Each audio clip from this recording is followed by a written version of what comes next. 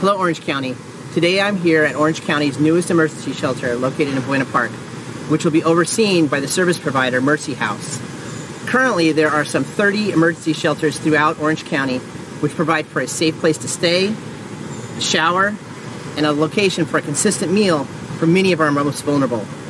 Now, this shelter is in its final stages of preparation before it'll be ready to serve 149 men, women, and couples.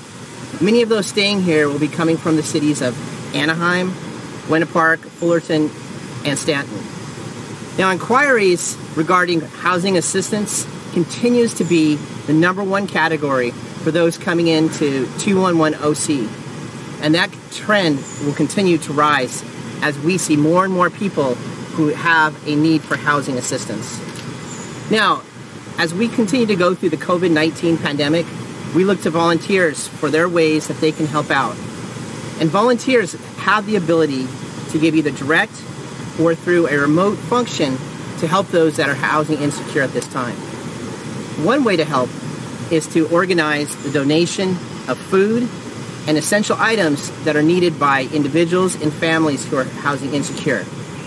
To find out more about these opportunities and other volunteer opportunities that allow you to make an impact today, please visit UnitedWayOC.org, click on the How You Can Help button, and find the volunteer opportunity that speaks to you. Thank you.